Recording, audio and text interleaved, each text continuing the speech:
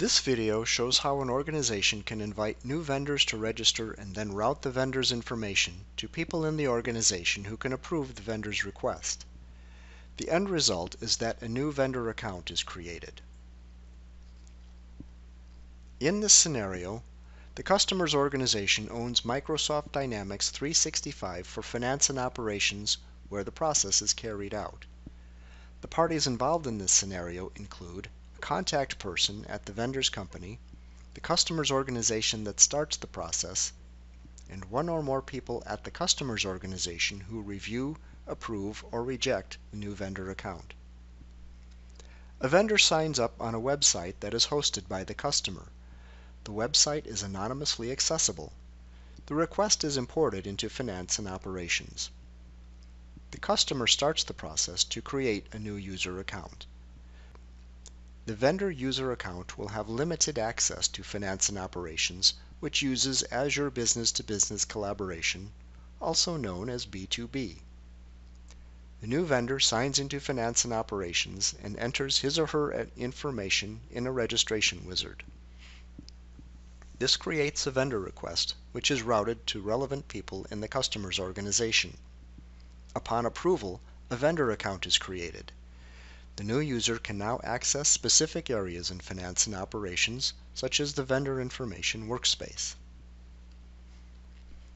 The prospective vendor registration requests page is where you can find requests from vendors who want to register.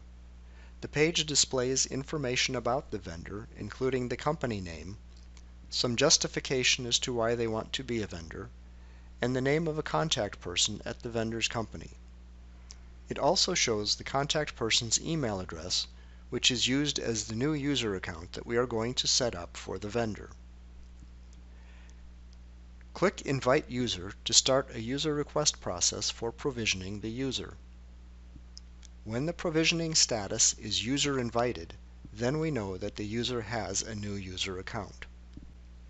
When the new user who is the vendor's contact person, signs into Finance and Operations, the page that displays is the Vendor Registration Wizard. This is where the vendor can complete the registration process. First, the contact person needs to choose the country that the vendor is doing business in. This is needed so you can configure the wizard depending on the country that is selected. Next, determine if there are any questionnaires that need to be answered. If so, a questionnaire can be added to the wizard. The questionnaire can also be configured according to the product category that the vendor has selected. This means that additional questionnaires can be added for the contact person here. I'll go ahead and complete the questionnaire. The questionnaires are of course completely configurable in Finance and Operations.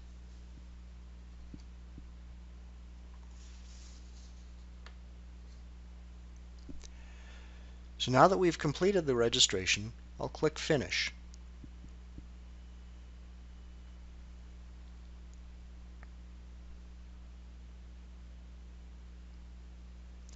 The registration submitted by the vendor will be assigned to a workflow participant who is someone who can approve the vendor. In the work items assigned to me, I can see that I have a vendor request coming in here. Opening the request will show the data that the vendor entered in his or her registration.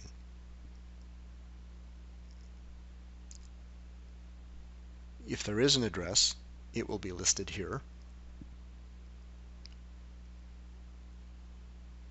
as well as some contact information.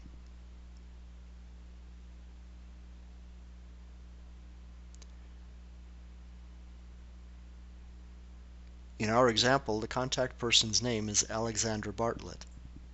And in our example, we did not add a lot of information during the registration, which is why not much data is displaying here. I can see the procurement categories that the vendor wants his products to be included in, and I can see the business information that was entered.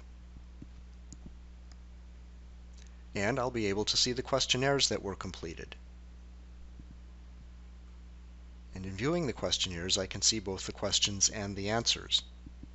The questionnaires can of course provide much more information than this if I want to approve the vendor based on this information.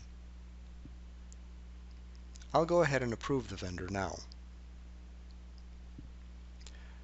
First, I need to add a vendor group which is required for creating vendor accounts. And then I need to decide whether the contact person, who is now a vendor collaboration user, should continue to be this kind of user. If needed, we can change the vendor's privileges and security permissions so that the user has access to other capabilities that are part of vendor collaboration. If I don't think that the vendor contact person should continue to be a vendor collaboration user, I will set the slider to No. Now I can approve the vendor.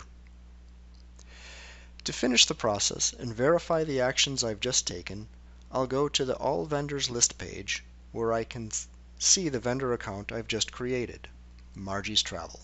Thanks for watching.